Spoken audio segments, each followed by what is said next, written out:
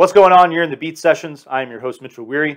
Let's talk about the Lumineers and their new record, Brightside. That was released on January 14th.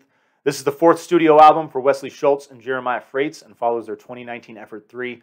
And I gotta admit, when I first saw the track listing for this thing, I was a little disappointed. Nine songs, it's coming in at 30 minutes.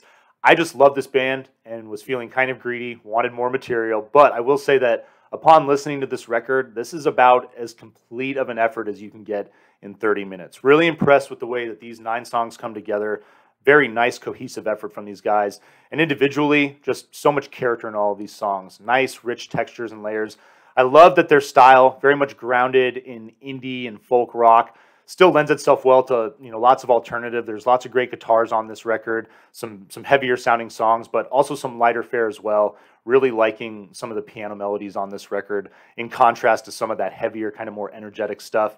And lyrically, I'm I'm loving this record. I'm loving the message of positivity on Brightside, as the title would suggest. And I'll argue that you know the last two years they've been difficult for all of us, and I know a lot of people that are maybe just kind of bored and beat to death with this banal nature of always look on the bright side. But I will say that Wesley and Jeremiah handling this content in a way that it makes it refreshing. It makes it resonate with the listener in a way that, you know, like I certainly found myself feeling much more upbeat after listening to this record. Not to say that I feel like I've solved all of the problems that have affected us in the last two years, but I think this record lends itself well to identifying that you know, it's all about mindset and it's all about the way you choose to approach life. And you can do that in a negative way, or you can take on the bright side of things. And while dealing with all of this negative stuff, till you know, still choose to see that you know life is full of great positive things, and there's a lot that we still have to be happy about. So I like the way that they take that on in this record. This thing kicks off with Brightside.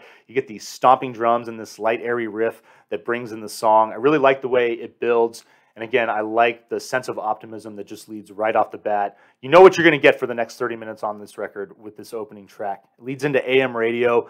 I like this thing the way it starts off kind of like a delicate acoustic ballad. There's some soft percussion uh, and a great intermittent piano that creeps into the song. But this song definitely it builds in a great way and it changes pace. And I'm really liking this track as well. Where We Are is your third song. Piano dominates on this thing. Really liking the melody. And the message, again, very comforting without being banal. It's where, where we are, I don't know where we are, but it'll all be okay. And I just, I, I love that. I love the, the music that, that carries with the hook on this thing. It's just a very nicely done song. Leads into your four song birthday. This song, oddly enough, uh, given that there is a track entitled Birthday on the White Album, this song really reminds me of what the Beatles were doing on the White Album. I love this track as well. Um, all of these songs, all nine of these songs, like I said, are just are, are very nicely done. Your four track Birthday leads into your fifth song, Big Shot. Love the piano melody on this record. Great coda as well. And I'll say that the, the coda effect on this record, there's a lot of these songs that as they as they end and as you get this outro, lots of nice stuff working in the codas. Your sixth song, Never Really Mine.